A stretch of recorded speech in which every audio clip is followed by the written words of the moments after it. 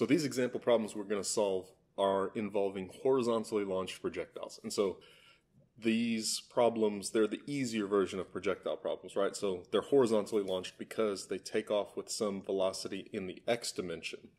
But here, right, their initial velocity in the y dimension is zero. So as these things, remember, we're thinking about the motion in the y direction and the motion in the x direction, right?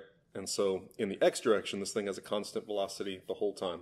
But in the y direction, it's like dropping something. So it starts at zero and then it gets faster and faster and faster as it falls down, right? So let's read this problem. An 80 gram autograph baseball rolls off a 1.2 meter high table, strikes the floor, horizontal distance of 0.8 meters away from the table. How fast was it rolling on, on the table before it fell off? So we want to figure out the velocity in the x direction.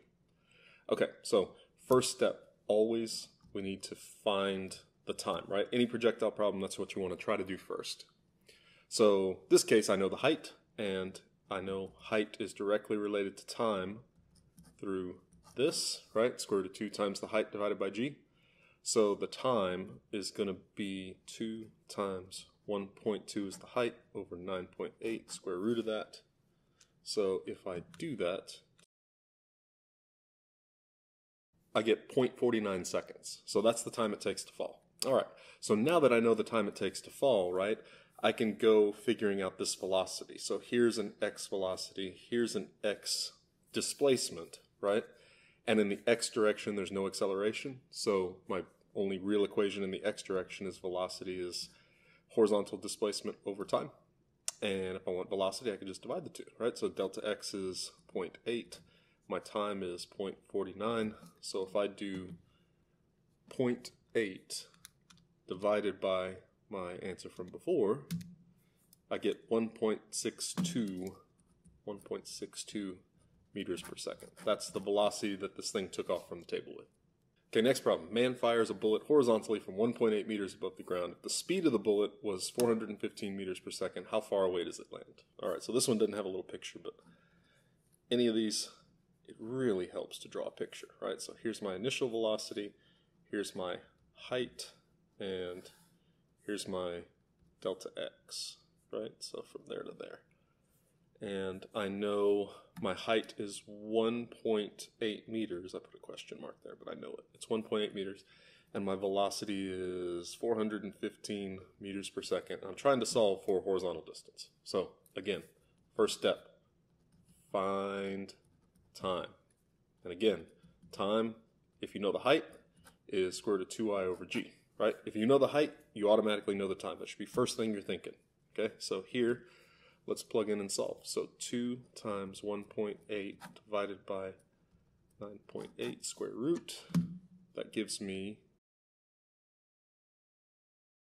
0.61 seconds, right? That was easy. Okay, so 2, again, just like the last one, I know my velocity now, and I want to find this horizontal distance, right? So this thing's going to fall something like that. So in the x dimension, there's only one equation. Velocity is delta x over delta t. So in this case, I'm solving for delta x, right? So I have to rearrange this to get delta x. So I'm going to multiply the delta t over. So that looks like an n, should be a v. So delta x is going to equal velocity times my time interval, right? I just multiply it over algebra. So velocity was 415. My time is 0.61.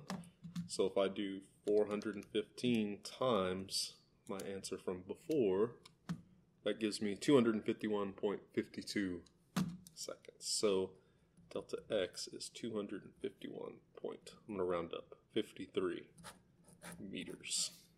Okay, so last problem. This one is a little different because in this case, I'm not going to know the height. I'm trying to figure out the height, right? So uh, read through it. Standing on a quarry wall, boy tosses a piece of granite.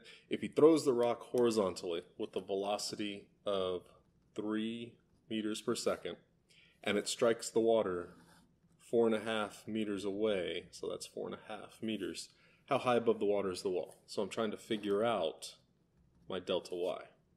Okay? So again, first step, we always think, okay, I need to find the time. So normally I would say, oh, time is square root of 2y over g, right? But I don't have the height. I need to do this another way.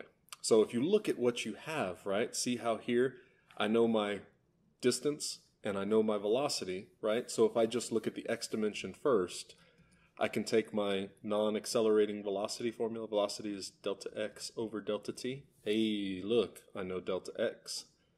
I know velocity. I could solve for delta t, right?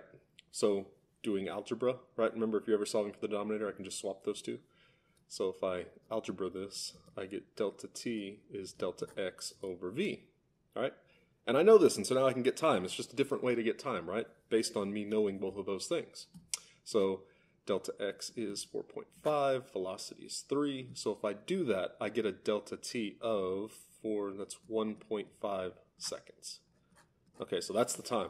All right, so now let's go take the time and figure out the height, right? So we've been using this equation.